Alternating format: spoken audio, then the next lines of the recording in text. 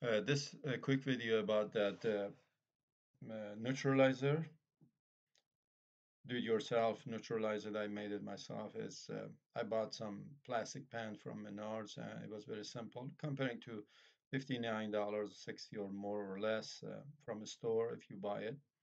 Each local store doesn't have, even they don't have no, they have no idea about you know what it is but reading the manual, it says uh, that drain condensation, it comes out from the drain line on the bottom of the tankless water heater is pretty acidic and not, not only damages the cast iron, it can damage your concrete also.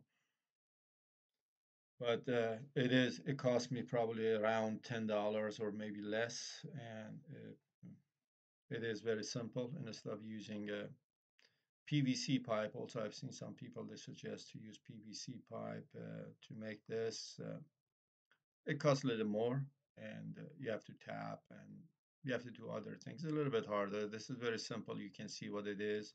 You can see how much concrete do how much water in uh, water you have. Sorry I said concrete. It's rocks. And there I have a plexiglass between. It prevents the water uh, slows down the water it doesn't let water travel from the top and goes to the drain.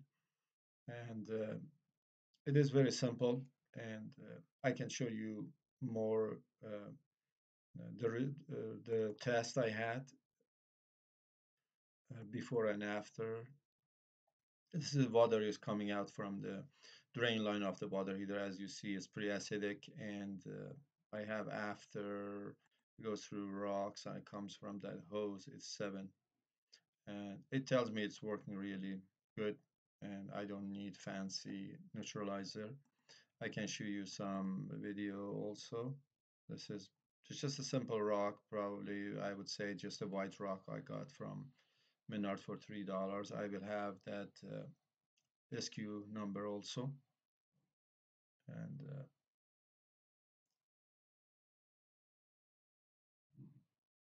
and this is my water Navien water heater and I installed it myself.